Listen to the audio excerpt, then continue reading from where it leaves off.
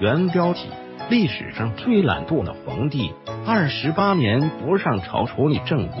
考古专家揭露了真相，在中国封建社会处于统治阶级顶峰的帝王，应该是被众人羡慕的对象。事实也的确如此，他们是国家的主人，是天下众生的主宰。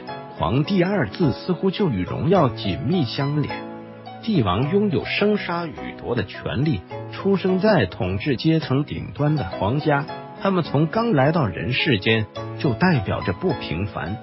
我们羡慕他们的衣食无忧，但是我们没有看到他们荣耀下的艰辛。做一名帝王也是一件很辛苦的事情，四海八荒的事物，多数要由皇帝一人决断。天下苍生，他也要牵挂在心中。还要时时担心有没有人要篡夺自己的皇位，可见做皇帝也并不轻松。中国封建时期的历代帝王的寿命似乎都不太长久，他们要频繁的工作，休息的时间寥寥无几。例如明朝开国皇帝朱元璋，他每天焚高继鬼的工作，关乎国家大事的二百多份奏折都要他亲自批阅。但是今天的主角不是朱元璋，我们要了解的是朱元璋的后辈，也就是万历皇帝。这位皇帝可谓是帝王史上的异端。万历皇帝做过一个可以说是很出格的事情。作为一个帝王，他二十八年不上朝处理政务，堪称是历史上最懒惰的皇帝。万历丢弃了他作为帝王的本职工作，他却没有被推翻。也可以是鸿运加身了。在万历刚刚登基为帝的时候，他还拥有一个做明君的心愿。他也曾是个心怀天下的人。传说有一年大旱，万历皇帝步行了二十多千米的路途求雨。他也一度发展明朝经济，百姓安居乐业，国家也呈现一片祥和的气象。与前期相比，后期的万历皇帝。发生了翻天覆地的变化。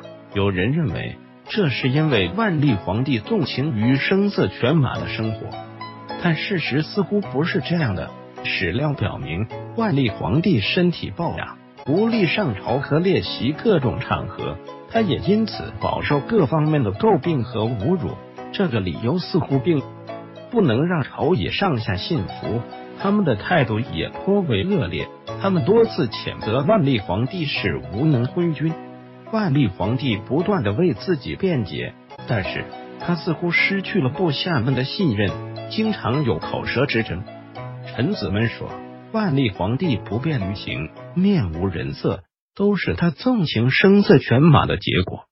现在的这个局面，都是由于他自己的放纵，不是其他人的罪过，他应该自己承受恶果。这些话被万历皇帝知晓后，他暴跳如雷。可是万历皇帝确实是他自己诉说的那样吗？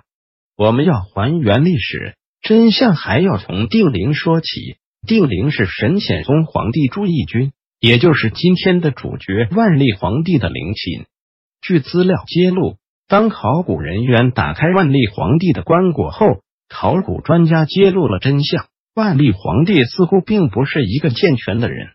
相关人员在检查他的尸首后，发现万历皇帝的左腿有些明显的残疾，他以一种不正常的姿态扭曲着，想来定是疼痛难忍。看来万历皇帝是真的不便于行，他不参与日常的政治活动也是情有可原。万历皇帝体态肥硕，又长期缺乏运动。他走路的姿势肯定不会很美妙，他这样不雅的出现在众人面前，肯定会有损皇家威严。为了自己的颜面，万历皇帝放弃了上朝。但是万历皇帝在日常的时候，他仍然关心着明朝事务，心系江山社稷。